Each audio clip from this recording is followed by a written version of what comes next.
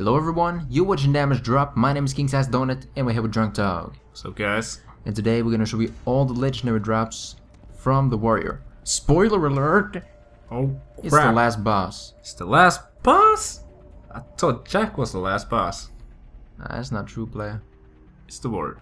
It's the war and we're here in a Hyperion uh, opportunity this is where we are right now and we're gonna check out first of all the shield only shield legendary shield that uh, drops on the warrior it's the impaler. As you can see, it got decent capacity, almost 40k, but you know, it's not always the same amount, so you might get different stats on it. But uh, it's really good. It has a lot of corrosive damage, as you can see. It got 36k spike damage, which is which is awesome. Hmm, and uh, And as if you read on the top there, it launches corrosive homing spikes when damaged with bullets. So it also corroses guys from far away. that's insane. And we're gonna we're gonna show you that right now. Vlad will be proud. So we got some Hyperion robots there to maximize the damage we can do with it. And let's see if we can do some corrosive damage. Just gotta find these suckers. It should be hanging around here somewhere. There we go. So let's see if we can see some spikes. There see the spikes, they're homing in on targets. And does a lot of damage as you can see. You see that? Almost dead though. Almost Okay. 60k on that guy because he he's an Hyperion, of course, Yeah. but still deals a lot of damage. Ooh, I'm dead. I'm just gonna have to Just rest this guy. myself a little bit. Oh, nope, don't wanna. I had something else. Let's just see if I can kill this guy. This pistol isn't really that good. Oh, that was last second right there. Let's just see if I can heal myself a little bit. The boss Hyperius has a, has a lot of uh, Hyperion Robots. yeah. robots, but if you use the uh, the Impaler shield, it will of course deal twice the damage on those guys. So not a bad shield to use, Yeah, so, which is, is not the Bee. So uh, yeah. B is gonna patch those, and maybe this will be a better use in the future. We're gonna have to see. it. maybe But if you can acquire the shield, it's really good. Let's take a look at some of the other guns, or not guns, let's take a look at the grenade mod that the war drops. what we got here is the sticky homing fire leech. Yeah, it might not be sticky homing on you guys, I think. It might not be fire, but uh, it will be the leech. Uh, yeah. It's called a leech, which is really good. It will split in, I'm not sure if it will split into four on every time, but it will definitely split into uh, a specific number of shot grenades. And the really good thing about it, it got a lot of burn damage, so it's really good uh, against flesh. And uh, But that's not the best thing about it, no, because it heals you a lot. yeah, it was. And I mean a lot. It heals you full in one second. Yeah, it's the probably the best healing grenade out there because it will just heal it full. Only But we've been tried it out a little bit, and it doesn't seem to work on bosses. So that's yeah, uh, that's that's a downside with it. that's the downside with it. And bosses is really the only thing you can do in level 50. So, uh, Mm. And but, also, but when you're farming, uh, like mini bosses and Yeah. things like that, it might be a good grenade for you. mm, it's, re- it's really good for healing. The only downside is it uh, it has to split up and do all the sort of things before the healing actually works. So Let's does. just try it out here and see, take a see if we bit can of get time. it to work. So my health is pretty low right now. Let's just see if I can heal. This is an armed enemy, so it won't work that well on the damage, but I think it will heal me fully. You can see Yeah, the homies. to- Oh and yeah. you can see the health. We got full health. Full health. I was my health was really low and now I'm full again. Let's just see if I can take a little bit more damage and we can also show off the shield a little bit. Just a spike from the shield, hitting that angelic card. And he hits again and again, and I think he's and he's down. He's down. Let's see if we can lose some some Yeah, uh, there he got there. hit. Okay. This guy is hitting me now. And there you see that I don't think that was the the spikes from the shield. Okay, so Now. I got uh, now my health is really low. Yeah. Throw down a grenade. nade, see what happens. Stucks on him, explodes, oh, splits up. And now it's gonna find another target. So if there's only one one uh, enemy, it's uh, not that good. But, uh, now the seeking target, and my health should rise up every second now, but I died. Uh, so the problem is you will probably try to have It doesn't always go on the target you want it to go. yeah. So right So there, that's the downside to it. But if you only fight one target and he's hard as fuck, it is a good grenade. yeah, because it, it's it like try to home in on some enemies far away, and that way. You saw it earlier. Yeah, it, works pretty good on uh, when a lot of enemies stuff. which is close by. Really good healing aid, but not that good on boss fighting. Let's so check out the weapons. check out.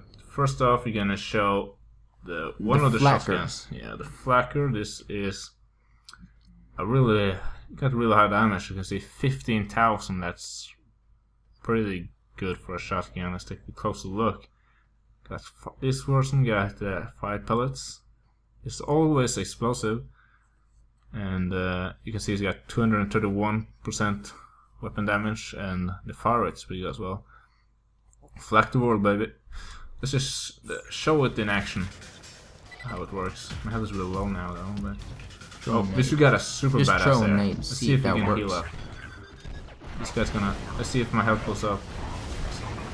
It goes slowly up because he's Hyperion, but yeah, it's going up. If he was a flesh, he would be full health instantly. yeah. Let's just check out this weapon. Let's let me just stealth and go behind this guy. Because the bad thing about this gun, it got really short range.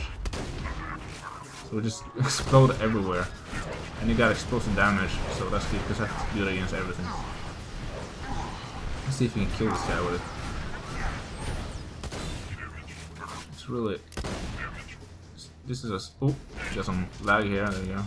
So it, it is a good weapon, but It's not... I, to be honest, I really don't like it. No, It's super short range. We're gonna show the range right now. yeah. Just shoot up in the pick sky. Up this uh, rhythm. Oh, a lot of rhythm actually. Shoot up in the sky here and uh, See. check it out. It just explodes right in front of you. Yeah, like uh, all other shotguns will like uh, they'll hit on impact, but this will just explode in the air. So we gotta be really close. But it does cover a large area, so it's It good does. against. If, what? if you have a lot of enemies on you, it might be good. But Yeah. then But the it, you range got really- conference call, so yeah. So let's go right to this is conference call. Probably the best shotgun in the game right here. I think you all know what weapon this is. Yeah, this is what everyone want to get. Warrior drop. Uh, let's just show it off. Most people, this is the, this is what the why people farm the warrior to get this shotgun. You got insanely good range. And fire rate. Yeah, it's And automatic. damage. So the and it's the pellets just fly everywhere and will hit everything, and it's super good with the Bee. Yeah. and Uh, keep in mind we have we haven't used the Bee. So No. w- we're gonna show you with the Bee and without the Bee. Here's without the Bee. Still got the impaler on. Yeah, you see, it shoots really fast and you kill him really quick. yeah, that was really quick. Let's just see if we can find some more, some more people. There's a guy behind you here. Yeah, here we go. He got really You know, quick. He's really quick, and you you aren't even using the Bee. Let's just switch to the Bee right now and check it out. Let's try it on this Hyperion. Works really good.